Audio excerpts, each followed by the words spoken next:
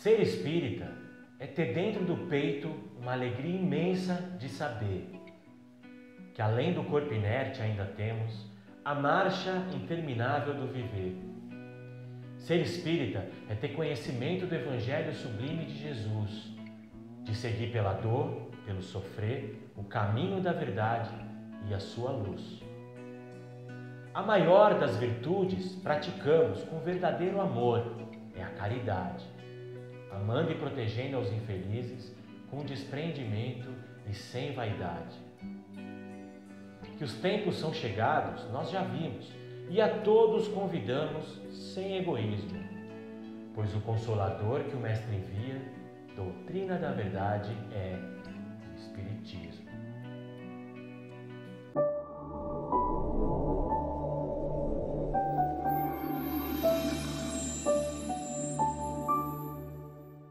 Fala espíritas do Brasil, eu sou André Luiz, um dos criadores do canal Espiritismo Pop, sejam muito bem-vindos. Essa poesia que eu citei no início do vídeo é uma poesia da minha bisavó Conceição, escrita em novembro de 1948 na cidade de Charqueada. E só de lembrar do momento que minha tia mandou essa poesia na semana passada para mim, eu já fico arrepiado. E no próximo vídeo eu vou narrar melhor a história do espiritismo na minha família e da minha bisavó Conceição, que foi uma desbravadora espírita. Mas nesse vídeo a gente vai responder de maneira clara e precisa o que é o espiritismo. E para a gente responder essa pergunta, a gente não pode ignorar o tríplice aspecto da doutrina espírita, que são ciência, filosofia e religião. Fica por aí, a gente preparou um texto bom, bem explicativo e até o final desse vídeo você vai entender exatamente o que é o Espiritismo. Mas antes da gente começar os trabalhos e colocar a mão na massa mesmo, eu quero te falar sobre o tríplice aspecto aqui do canal Espiritismo Pop. Vocês já ouviram falar? Não? Tríplice aspecto do canal Espiritismo Pop se chama Inscreva-se, comente, curta. Nossa senhora, que vergonha. Muito ruim, muito ruim.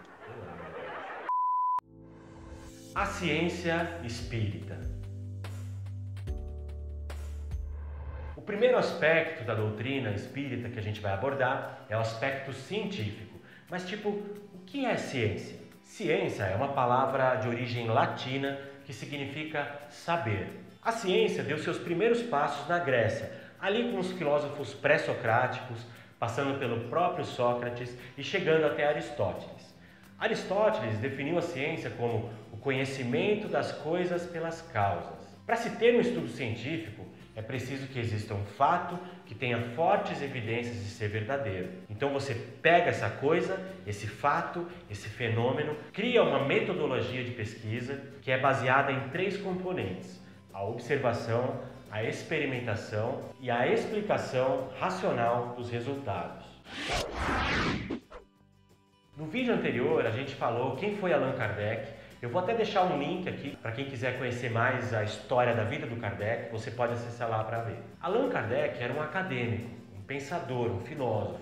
E quando ele decidiu estudar esses fenômenos, ele aplicou toda essa metodologia. Então o espiritismo nasceu como consequência de um trabalho científico consistente. Ele elaborou um corpo de conhecimento sistematizado, apresentando, através de explicações lógicas, os fatos e fenômenos espíritas.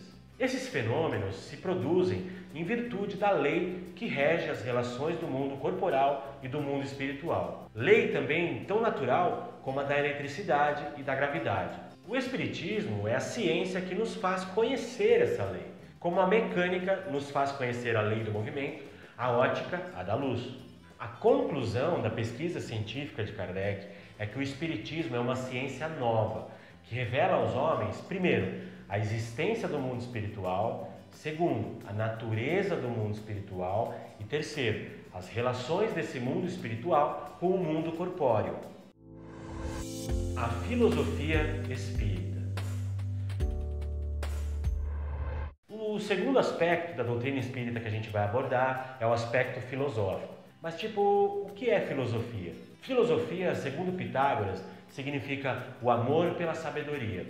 Então, a filosofia é uma área do saber que procura entender a essência de tudo que existe no mundo, criando conceitos a partir de questionamentos e formulando significados a partir da interpretação dos fatos. O conhecimento filosófico é racional, interrogativo, questionador e reflexivo. A filosofia não aceita nenhuma verdade como absoluta.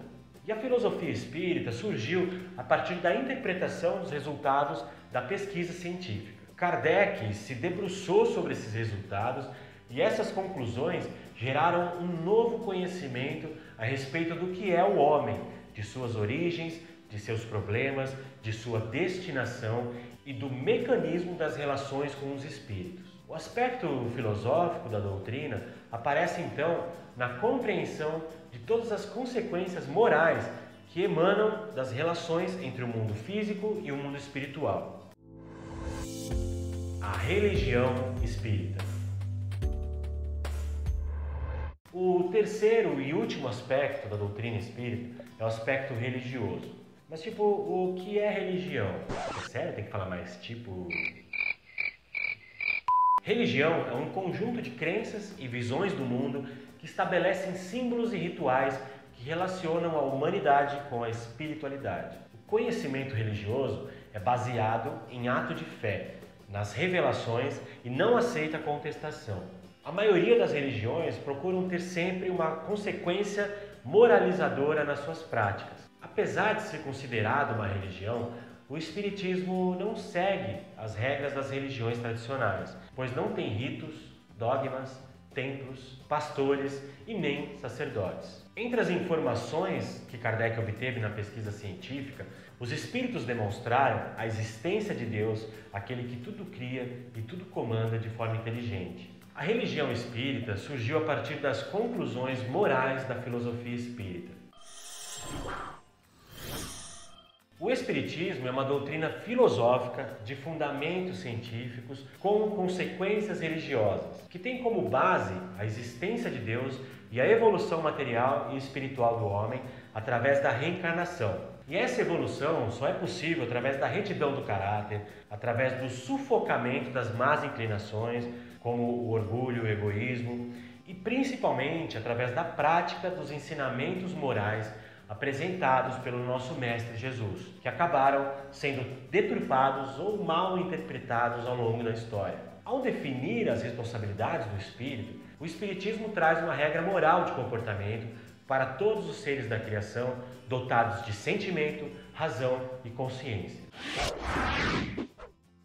No próximo vídeo eu vou falar quem são os espíritas no dia a dia, o espiritismo na prática. Quer dizer, aqui nós definimos a teoria do espiritismo. No próximo vídeo eu vou falar o que nós fazemos com esses conhecimentos, como essa teoria toda é aplicada em nosso dia a dia. Então assim, para finalizar, eu vou te pedir novamente para você praticar o tríplice aspecto do canal Espiritismo Pop, que é inscreva-se, comente, curta. Muito ruim, cara. Muito ruim. Então acho que é isso. Acompanhe a gente nas redes sociais. Muito obrigado e fiquem bem.